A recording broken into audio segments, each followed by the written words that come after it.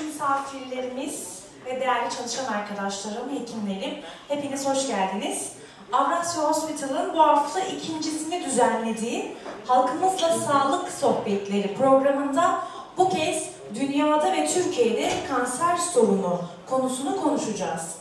Bilindiği gibi kanser tüm dünyada yaygın hale gelmiş bir hastalık olmakta. Biz bir sağlık kurumu olarak hastalarımızı, halkı bu konuda bilinçlendirmek istiyoruz. Veya bu hastalık teşhisi koyulmuş hastalarımız var ise onların tedavileri için kapılarını sonuna kadar açmış bir kurum olmaktayız. Kanser teşhisi için Avrasya Hospital'da görüntüleme ünitemiz mevcut olmakta. Burada ultrason cihazları, MR, bilgisayarlı tomografi, mamografi, anjiyo cihazı gibi birçok görüntüleme cihazlarına sahip bir kurum olmaktayız. Bunun dışında diğer etkin teşhis imkanlarımız patoloji, biyokimya, mikrobiyoloji de erken teşhis koyma şansına sahip olduğumuz alanlarımızdan olmaktadır. Dün e, Cezayir ve Fransa'dan hastanemizi gezmek üzere gelen doktor heyetimiz vardı. Burada kendileriyle birçok alanlarımızı gezdik ve hekimlerimiz bölümlerimiz hakkında, yaptığı işlemler hakkında onlara çok güzel bilgiler verdiler.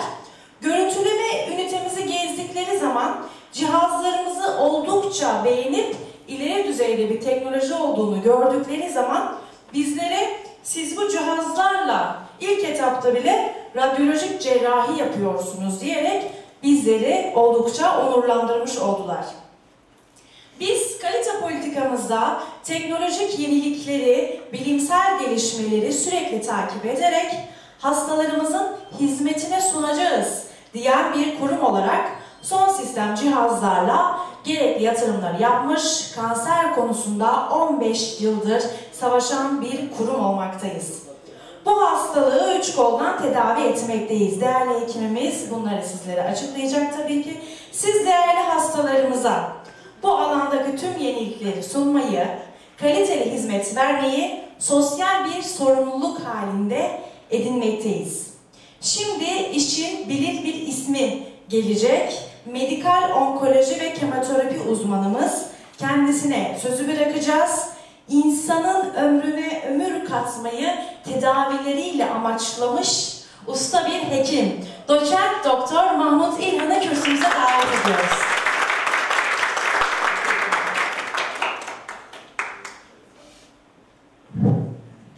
Yani herkese teşekkür ederim. Ben e, e, bizim Sayın Yönetim Kurulu Başkanımız Hüseyin Bey, işte ona destek veren ailesi e, ve burada çalışan bütün arkadaşlar e, sonsuz teşekkürler. Yani bu e, kurum e, son derece güzel bir kurum, başarılı bir kurum. E, ben bu kurumun içine girdikten sonra e, belki de hayatımın onkoloji deneyiminde en başarılı çalıştığım yer burası diyebilirim ki ben üniversitede akademisyen yapmış bir insanım. Üç yıldır profesörlüğüm geçiyor. Bana bir sürü teklif geliyor. Onun için de em, emektar Hüseyin Bey'e sonsuz teşekkür ediyoruz. Ee, çok anlamlı. Ee, gönlünün de iltifatı için teşekkür ederim. Ee, şimdi e, tabii bazen şöyle, e, mesela bir sistem oturtururken e, çok ciddi, ben e, kısa bir süre Harvard'da bulundum. E, o Harvard'a giderken e, çok yani duyguluydum. Hem gurur vardı hem de ben zaten köyde büyümüş bir insanım. Sonra da ben Harvard'da kaldıktan sonra orada kalmak için böyle hafif girişimde bulundum. Baktım pozitif bakıyorlar. Ama baktım ülkeyi özleyeceğim. Ne bileyim o zaman e, elimden gelirse e, ülkede aynı şeyi yapacağım. E, yani e, iyi ki de o kararı almışız. Orada Güney Koreli bir bayan vardı. Enik diye. Enik çok insandı. Öyle insan gözüne baktığı zaman e, sevgi doluydu. E, sonra ben Enik'e dedim işte ben kalabilirim dedi. Şöyle şöyle yap dedi. E, şu toplantıya katıl. Seversen beni düşünürüm. O koordinatördü. Ben o toplantıya katıldım. Ee, baktım ee, hani bembeyaz insanlar, kalp karikatürü güldüler, araştırmalarından bahsettiler.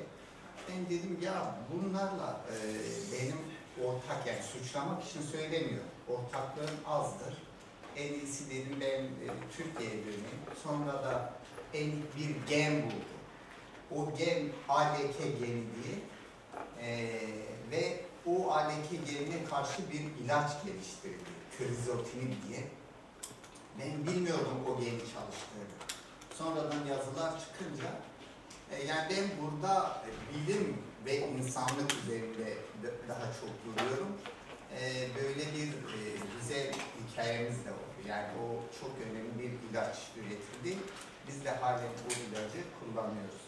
Şimdi ben bugün e, kısaca e, işte Gönül anlattı dünyada ve Türkiye'de kanser sorunundan e, e, bahsedecektim. Ama sadece dünyada kanser sorununu aldım. E, ben bildirmedim, özür dilerim. E, çünkü geniş bir konu. E, bir başka sefere de yani burası bir bilim yuvasıdır, hizmet yuvası. İkiye böleriz. Türkiye'de kanser problemini de ayrıca sunarız. Şimdi ismi, e, şimdi e, dünyada e, kanser sıklığı ve kansere bağlı ölüm çok güncel bir konudur. Yani kanseri bilmeyen, korkmayan, onunla ilgilenmeyen hemen hemen kimse, e, kimse yok. Çok güncel bir konu. Şimdi burada, pardon, e, şurada Globocan 2012 yazıyor. Ben bundan bahsedeceğim. Bu glob, global yani dünyadan geliyor. Ve bu bir projenin ismi. E, bu proje Globocan serisi deniliyor. E, bu proje e, şöyle ilerleyelim. Dünya Sağlık Örgütü'ne bağlı ERC diye bir şey var. International Agency Research Cancer. Yani Uluslararası Kanser Araştırma Ajansı. E, bunun bir projesidir. Merkezi Lyon Fransa'da ve bu projenin amacı dünyada kanser nerede ne kadar sıktır, nerede ne kadar öldürüyor, öldürüyor. E, bu global dünya sorununa çözüm için, o sıklık, sıklıktan hareket ederek çözüm için ne yapılabilir e, için uğraşıyor. Sonra e, bu e, şey, bu projenin e, yani 2012 yılında dünyadaki tüm merkezlerden kanser verileri toplanıyor. Ama bu uzun bir süreç alıyor ve 2015'te Ocak'ta bu rapor çıktı. Ben şimdi size o rapordan bahsedeceğim. Ee, şimdi 2012 yılındaki kayıtlar dünyanın 20 büyük bölgesinde yani 20 bölgesinde diyelim Afrika, Amerika, Asya'daki 20 bölgeden veri alınıyor. Ee, diğer bölgelerde de veri kalitesi düşük ama e, komşuluk yoluyla yorum yapılıyor. Mesela diyelim Türkiye'de örneğin e, Antalya'nın verileri sağlıklı. E, Erzurum'un da sağlıklı. Dört bölge. Mesela Erzurum'dan örneğin e, komşu e, İran E, veya mesela diyelim e, Hatay iyi ise Suriye Halep'i e, falan biraz tahmin ediyorlar. Ama Suriye Halep'ten de e, veri mutlaka alınıyor. Yani deniliyor ki burası yüksek kalite, e, orada da kanser hastaları görülüyor. Bana geliyor hatta orada. E, ama onun verilerin kalitesi düşükse bile yaklaşık bir tahmin yapılıyor. Yani demek istediğim bu veriler dünyada her yerde veri alınmamış. 20 tane ana merkezden alınmış. E, çok e, yani çok memnuniyetle söyleyebilirim. Bir tanesi de Türkiye. E, ve burada 27 çeşit kanser, işte diyelim dil, beyin, dil, gırtlak, yemek borusu, akciğer, mide, bütün, bütün bölgeleri 27 çeşit. Bunların hem sıklık hem ölümü. Ve 2012 yılında e, dünyada 14,1 milyon kanser vakası. Yani bunlar tek tek e, sayılmamış. Ama olan sayılardan bu tahmin çıkarılıyor. e, çıkarılmış. Mesela bunun diyelim yanlış, e, biraz yanlış olduğunu varsayarak yine 13,5 milyon var veya 13 virgül bilmem 7 vardı. Yani bunlar doğru şeyler demek istedim ama net e, e, rakam değil. Ve aynı yılda 8,2 milyon ölüm vakası. Yani burası e, mesela İstanbul'un nüfusu gibi yılda yani dünyada İstanbul nüfusu kadar insan e, kanserden ölmüş. E, ve şey pardon kansere yakalanmış. E, bakın 8 ile 14 bu yüzde 60-65'i de ölmüş. Yani kanserlerin e, aynı yıl içinde e, böyle bir rakam. E, bir de Globocan e, araştırmasının diğer amacı da 2025 yılına dair ön tahminlerde bulunmak. E, bu çalışmanın sonucunda 2025 yılında 20 milyon üzerinde kanser vakası bekleniyor ve e, gittikçe fakir ve orta e, gelirli ülkelerde artış daha fazla olacak. E, yani bu da tabii kötü bir tehlike. Yani hem e, ülke fakir kaynakları iyi değil ama kanser vakaları da artıyor. Yani biraz daha dramatik bir konu. Gelişmiş ülkelerde teknoloji sayesinde ve sağlıklı yaşam konusundaki e, eğitim sayesinde e, insanlar aynı evredeki kanser gelişmiş ülkelerde daha çok yaşıyor. E, burada bu çalışmaya göre 2012 yılındaki verilere göre 1 milyon 820 bin akciğer kanseri birinci sırada. E, 1 milyon 670 bin meme kanseri. Yani bunlar büyükşehir nüfusu kadar. 1 milyon 360 bin de kolorektal kanseri. Demek ki dünyada en sık akciğer, sonra meme, sonra kalın bağırsak kanseri görülüyor. Yani kalın bağırsak kanseri erkeklerde biraz sıktır, kadınlarda da hatırı sayılır. Yani yüzde 55-60'a yüzde 45-40 gibi. Meme kanseri biliyorsunuz bayanlarda görülüyor. Akciğer kanseri de ağırlıklı erkek ama bayanlarda da artıyor.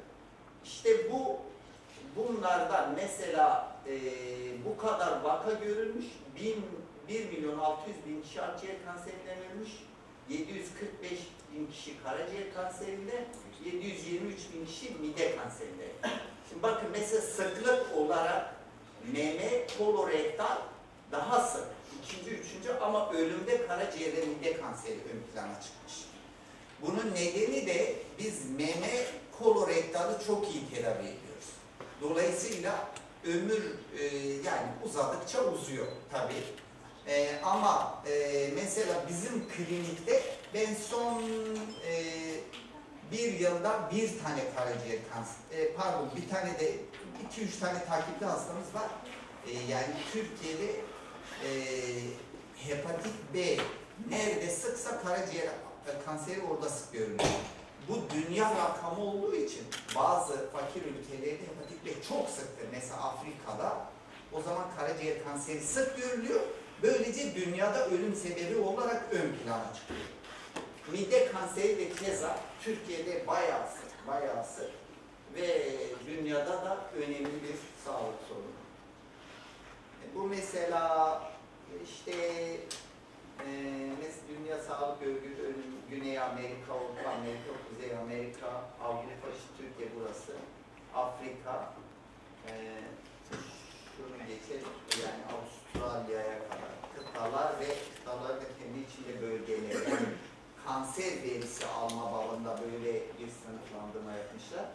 Mesela burada diyor ki şurası, diyor ki burası Amerika Birleşik Devletleri ve Kanada.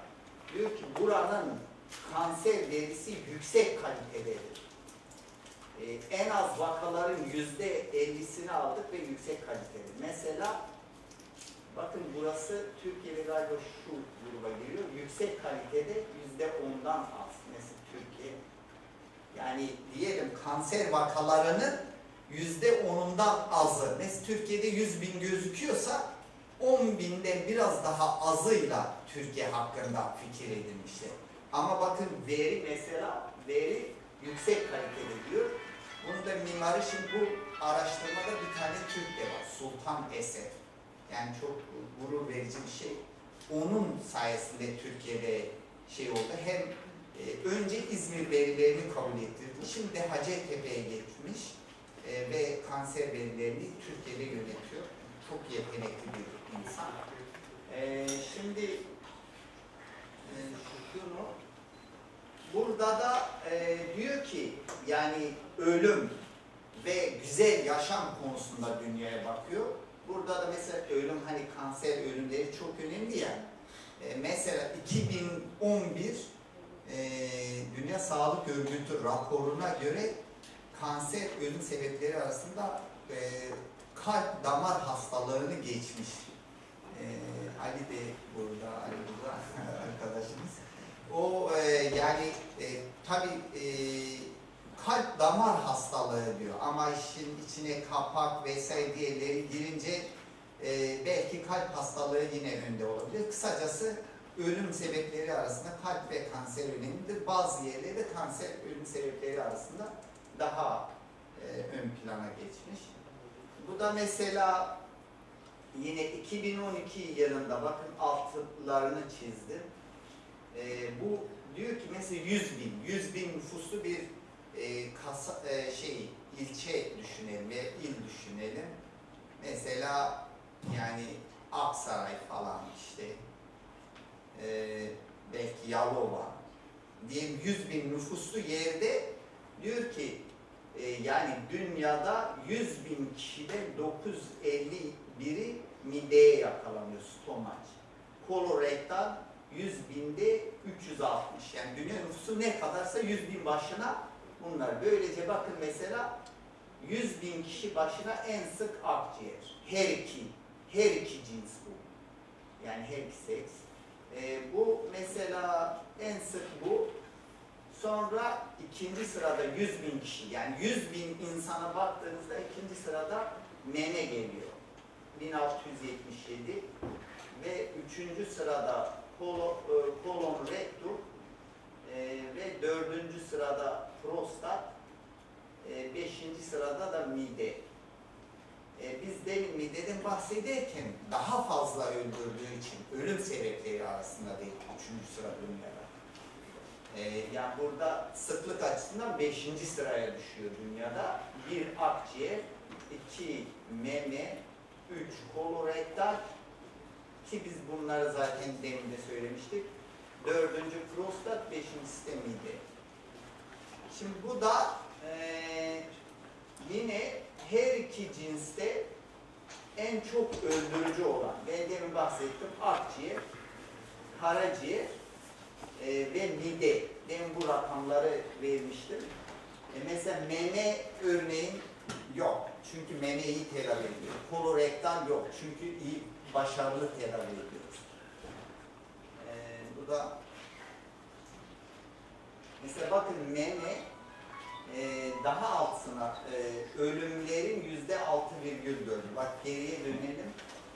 Mesela e, işte ölümlerin birinci sıradaki akciğer tüm ölümlerin yüzde on dokuz.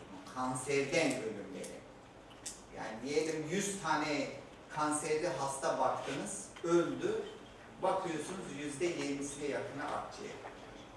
Şimdi e, şöyle, bunu da ha, pardon, ha, asıl slaytımız buraya tam girmemiş.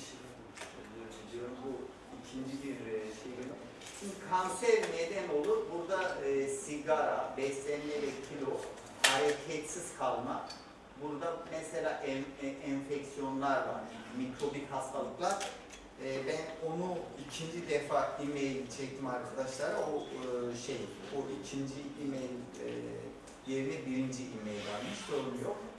Ee, enfeksiyonlar, ondan sonra e, burada da mesela çevresel radyasyon, artıklar, kirlilik gibi sebepler. E, dolayısıyla bakın mesela sigara tüm kanserlerin yüzde otuzu. Yani mesela akciğerde direkt ilişkisi var. Mesane ile biraz ilişkisi var. Yemek borusuyla ilişkisi var. Ama diğer karaciğer kanseriyle ilişkisi yok. Kalın bağırsak kanseriyle ilişkisi yok.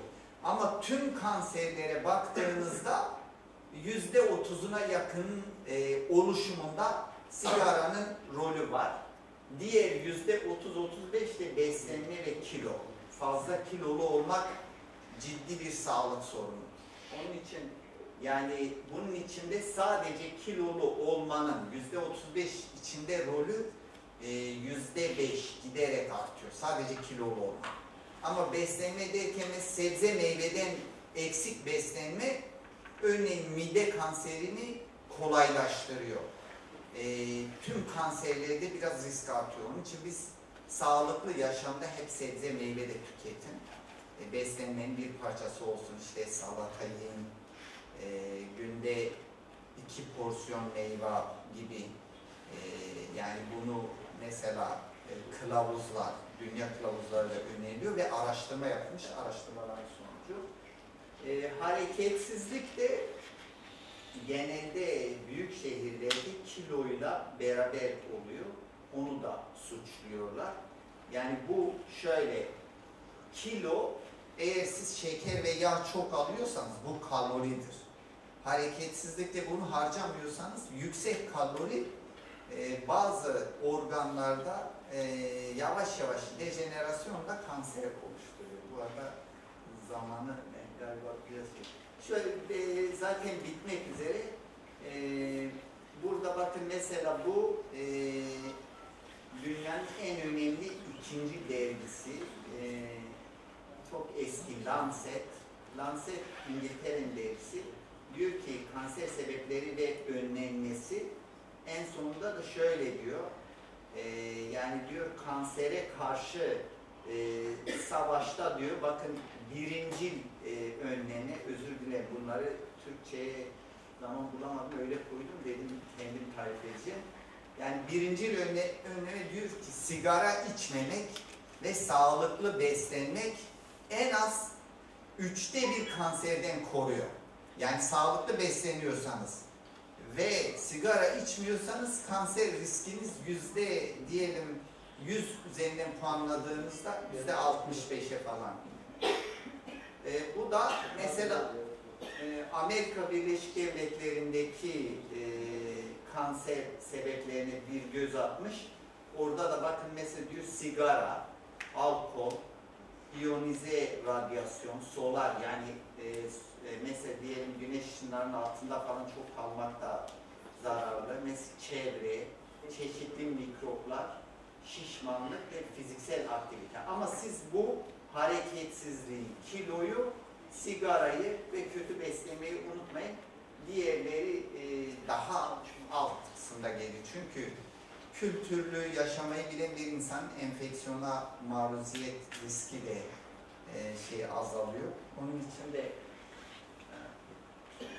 benim e, konuşmam bu kadar. Ben herkese kansersiz ve savaşsız bir yaşam diliyorum. E, sevgi dolu. E, çok teşekkür ediyorum dinlediğiniz için. ve kısaca